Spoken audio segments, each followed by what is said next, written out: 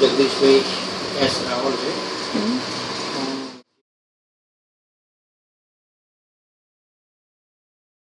પંચ્યાસીમાં ઓગણીસો પંચ્યાસીમાં. મારું અહીંયા મણકાની થોડી તકલીફ હતી. ડોક સ્થિર રહેતી નથી. અને એ ટાઈમે અમે ઘણા ડૉક્ટરોની દવા લીધી હતી સારા સારા ડૉક્ટરોની.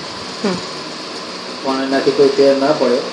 અને છેલ્લે મેં પેપરમાં મારે તો એક ક્રાંતિ કરીને એનું પેપર હતું આવ્યું હતું એમાંથી જોયું. કે વાંચીને મેં અહીંયા આવ્યો અને દવા લીધા પછી મને લગભગ એકાદ મહિનાનો કોર્સ હતો. અને કોર્સ કર્યા પછી બિલકુલ અત્યારે દસ બાર વર્ષ ઉપર થઈ ગયા પણ કોઈ એ બાબતમાં કોઈ તકલીફ છે નહીં. સારું. મણકામાં શું તકલીફ હતી? મણકામાં શું તકલીફ ડોક જ નમી જતી હતી એમ ડોક પડી જતી હતી મારી. સ્થિર રહેતી જ નથી ડોક.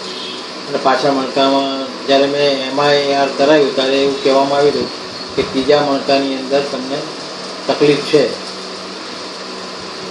મેં એમઆરઆઈ બી કરાવ્યું હતું એ ટાઈમે મારું દવા મારી ચાલતી હતી રણજીત આચાર્ય. જે કરોડના સ્પેશિયાલિસ્ટ હતા. છતાં કંઈ ફરક નહીં પડ્યો. અને અહીંયા આવ્યા પછી આટલો મને ફરક પડી ગયો. આજે એ એ જે મને જે રોગ હતો એ આજે બિલકુલ છે નહીં. સરસ. એના પછી મારી બેબી હમણાં જ મહિના પહેલાં જ આવી હતી. અને એને બી પગની નસની તકલીફ હતી. આજે જે એને ઉઠી બેઠવામાં પુષ્કળ તકલીફ પડતી હતી.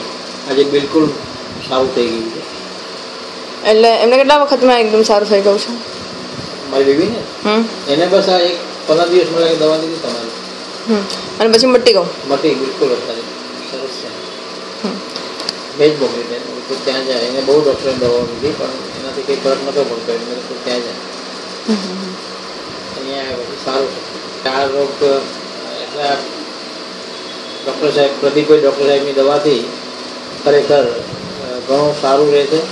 અને આવા રોગો એમની દવાથી મટે જ છે. મને, મારો પોતાનો હું અનુભવ કહું છું કે મને જે અનુભવ થયો છે, એ અનુભવ પ્રમાણે સાહેબની દવા બહુ સરસ છે અને એનાથી મને આજે સંપૂર્ણ આરામ છે.